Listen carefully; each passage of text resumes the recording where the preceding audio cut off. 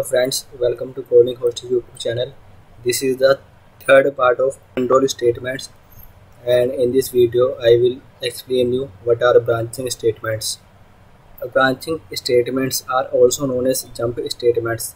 Let's see why they are also known as jump statements.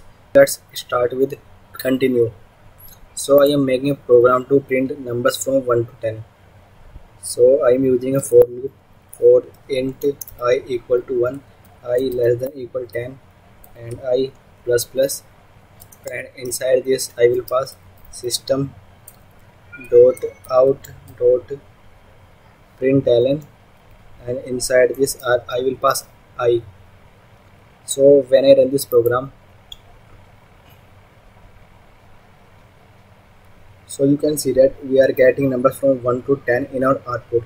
But uh, I want to skip a number in our output that I don't want to print 5 but accept it. I want to print all numbers. So what I will do is I, I will use continue here. So I will pass a if statement here that if i equal equal 5 and inside this I will pass continue. So when I run this program so you can see that we are getting numbers from 1 to 10 except 5 so 5 is not here. So what happened to our program? That whenever this condition become true that i equal equal to 5 our loop jump from 5 directly and it, it have not executed print ln statement for 5 and it skipped it. But after that loop will execute all the remaining values. So let's take a, another example that I want to print numbers from 1 to 10 but only even number so what I will do is I will pass a condition here that I modulus 2 not equal 0 so let's see what is happening here. So modulus is used to check reminder so when i is divided by 2 and if the remainder is not equal to 0 so we will skip that number and we will not print it. So we know that only odd numbers have remainder not equal to 0 and even numbers all have remainder 0 so when i run this program so we are getting only even numbers in our output. So same I can do with odd numbers. I will write here that equal equal to 0 so if remainder of i divide by 2 equal equal 0 the loop will skip that number and not print it. And if the remainder is not equal to 0 so system dot out dot println will print that number.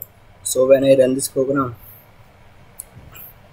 so you can see that now we are only getting odd numbers and the and all the even numbers have skipped by using continue keyword.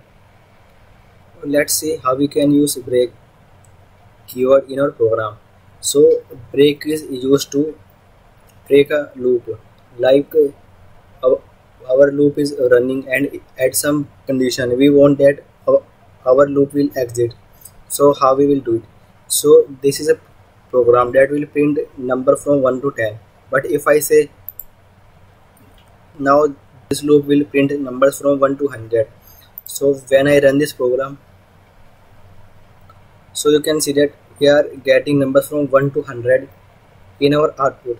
But I want that it will only print numbers from 1 to 50 and uh, after that loop will exit. So what I will do is I will pass a if condition here that if i equal equal 51 and inside this I will pass break. So when I run this program so you can see, see that now we are getting number from 1 to 50 only and after that we are not getting any number. Because our loop has break. Because of break keyword we have used. So this is how we can use break in our programs to exit or break a loop according to our conditions we passed. Let's see how we can use return. The only difference between break and return is that break or return is same but break can only be used in loops to break a loop but return can also be used outside the loop. So let's take an example with return. So if I write return here and run this program. So we are still getting same output that we are getting numbers only from 1 to 50 and after that our loop has break because of this condition has become true. So it will not run anymore. But we can also use return outside of loop. But in case of break we cannot do same. So let's try it. If I write int i equal to 1 and I am printing system system dot out dot println inside this I am passing i. So when I run this program we are getting 1 but if I say i plus plus so we know that it will increment the value of i and i, I will become true.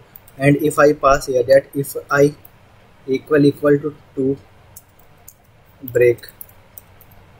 So you can see that now we are not able to use break here because break can only be used inside of a loop but we can use return here. So when I use return we are not getting any error. And after that if I want to print I again. So when I run this program